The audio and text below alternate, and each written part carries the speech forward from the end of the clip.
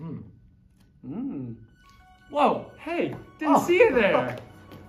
Welcome back to RHS News. On Channel 22. We are so pleased to be back with you. It's been a few weeks, Mhm. we admit, but we are so stoked to hit it harder than ever and bring out some more news shows for you. Mark, let me ask you, what did you do over the uh, four-day weekend? Some reading and some studying. How about you? I, I did the same actually. Yeah, I did a lot of reading. How many books Yeah. did you read? I read three books. I read seven. Say what? Seven Mhm. books? Oh yeah. Wow, I'm impressed. Oh, thank you. That that brain yours must be pretty big. Mm-hmm. Like a stegosaurus. Oh, nice geography. Thank you. Awesome. Well, the weather's been a little crazy recently, so we thought, you know, we'd kick it off with a weather report. So let's go to the great outdoors. I'm Wet, And I'm there. and we are your weather people. You know, talk about that weather recently. It's been super windy. Oh, oh. And talk about the rain.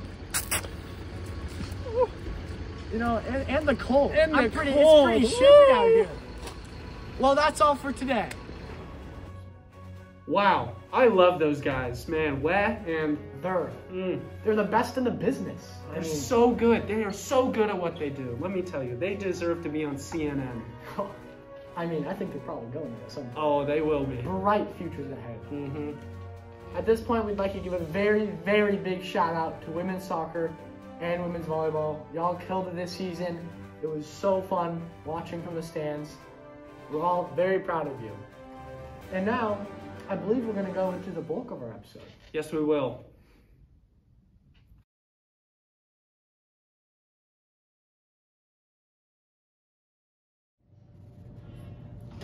One thing I've learned this year in Native American Lit is that the French discovered the Americas before the Spanish did, and they decided not to colonize because there were already too many people. One thing I learned was the treaty that pushed the Cherokee west was signed behind the back of over 15,000 Cherokee members. Something I've learned in Native American Lit is that 50% of the settlers died in the first winter, and the natives helped them adjust to the new climate.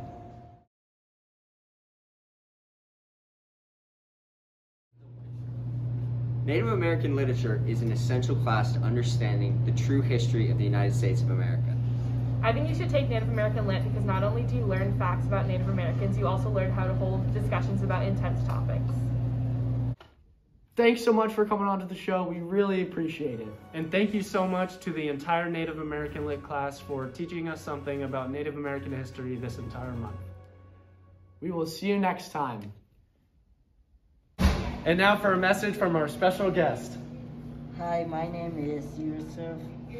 Uh, so I, I want to say everybody, uh, no skipping school, no talking bad to the teachers. Thank you for watching. See you next video. Adios. And no skipping. No skipping. No skipping. Sup?